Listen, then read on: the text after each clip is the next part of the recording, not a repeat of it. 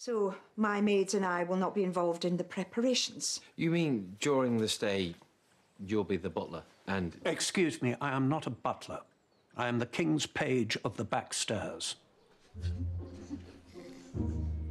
So our staff has nothing to do. I'm sure they can be useful. But how can they eat and get dressed at Raby Castle if the chef and the valet and the maid are all here? We have two of each. The principal valet and the principal dresser will arrive in advance of their majesties, who bring an equerry, a lady-in-waiting, two detectives, and two chauffeurs. The other chef goes from Raby to Harewood. Four footmen go with him, and the other four come here. Do you all understand me?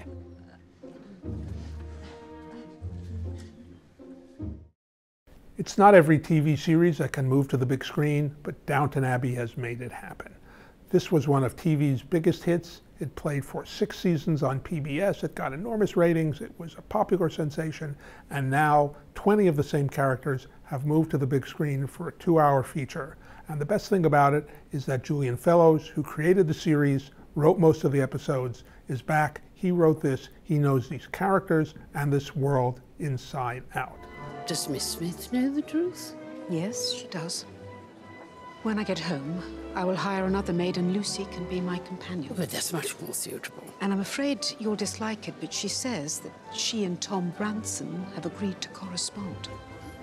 Dislike it, I will lick the stamps myself.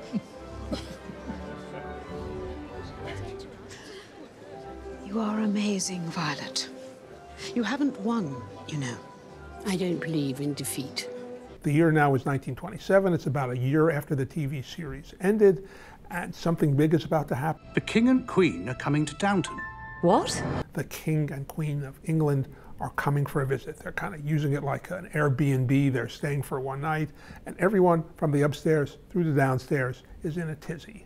The great joy of this series is the characters, how richly they're drawn, how interesting the plots that involve them are, the aristocrats who live upstairs, who worry about the future of the estate, the servants who live and work downstairs and who worry about making sure that everything is run the best way possible.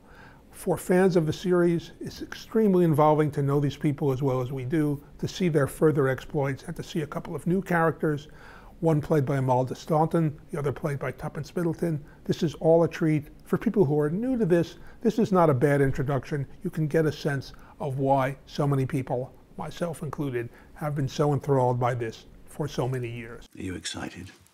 I am a bit. Are you? Would it be common to admit it? Not to an American. For the Los Angeles Times, this is Kenneth Turan.